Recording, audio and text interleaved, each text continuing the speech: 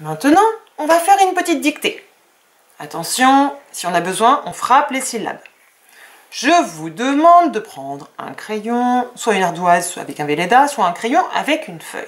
Et de bien écouter. T'es prête, Sophie? Bien. Je vous demande d'écrire le mot canapé.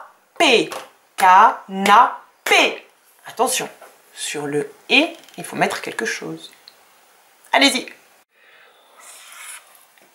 K. Na. P. Et l'accent. K. Na. P. En attaché. K. Na. P. Canapé on va pouvoir écrire le mot patate patate, patate. Allez-y. Pa, ta, te. Patate. Mal fait. En attaché. Pa, ta, te ta, ta, te. Patate. Maintenant, vous allez écrire le mot fourmi. Fourmi. Attention, pour faire OU, le O se marie avec le U. Allez-y. Four.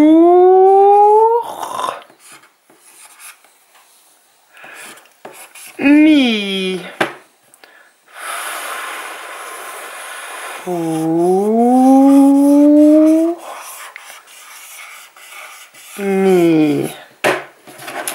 Fourmi.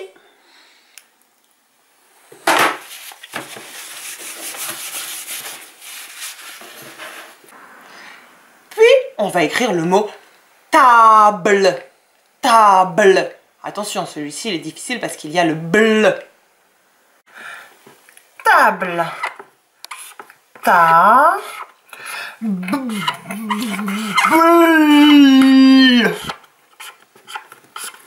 table. B.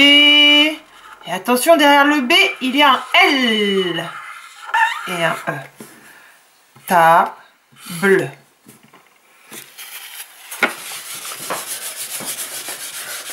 Et maintenant le mot douche douche. On se rappelle, pour faire OU, il faut que le O se marie avec le U. Mais pour faire CH, Sophie, il faut que le C se marie avec le CH, le H. C, H, ça fait CH. Douche. Douche. D'abord en capital. Douche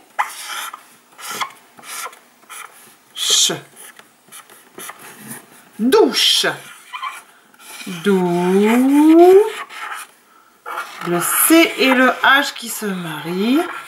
Et le E. Douche. Voilà.